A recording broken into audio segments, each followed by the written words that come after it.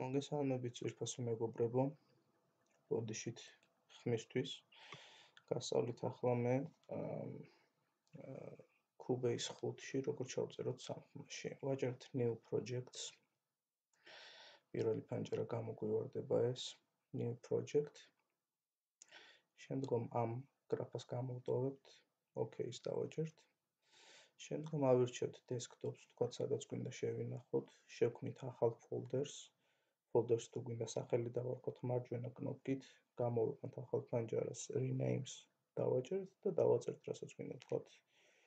დავაწეროთ სტუდენტები. შემდგომ ისევ OK. შექმნილი გვაქვს ახალი folder-ი, რადგან ოფიციალური ვერსია არ გვაქვს remained me letters დავაჭერთ, რეგისტრაცია არ გვაქვს გავლილი. შემდგომ თუ გამოგვიგდებს ფაილს აქ, OK, თუ არა და ისევ file new project ისო გამოვტოვებთ ამას, ოკეი. შემდგომ ავირჩევთ ჩვენს სტუდენტების ფოლდერს, რომელიც შევქმნით, სადაც მინდა რომ შეინახოს ეს ტრეკი. ოკეის დავაჭერთ და შევედით უკვე ჩვენს სამუშაო დაფაზე. დავაჭერთ მარჯვენა კნოპკას ღილაკს add audio track. audio track-ში ავირჩევთ mono arcs, გვინდა გჭირდება სამი არხი, რადგან ჩავწერთ სამ ხმას ხო? ამ შემთხვევაში სამ არხს ავირჩევთ და დავაჭერთ OK-ს. გამოგვიგდებს სამარხს, შეგვიძლია ეს არხები გავზარდოთ შემდგომი მოძრაობით ქვედა ნაწილზე მივიყვანთ მაუსს და გამოგვიჩნდება ესე დავაჭერთ და ჩამოვწოთ ქვემოთ. შეგვიძლია სხვანაირადაც შემდგომ გიჩვენებთ იმასაც. მოკლედ, სადაც წითელი ღილაკი იქნება მონიშნული იმ კონკრეტულ ტრეკზე იქნება დაწერა შესაძლებელი.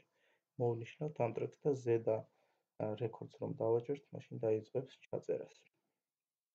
აჩვეულებრივი წერს ხმას შემდგომ stop თუ უნდა რომ გავაჩეროთ. აი ეს ხილაკი არის ტრეკის ხილოდობის გასაზრდელი.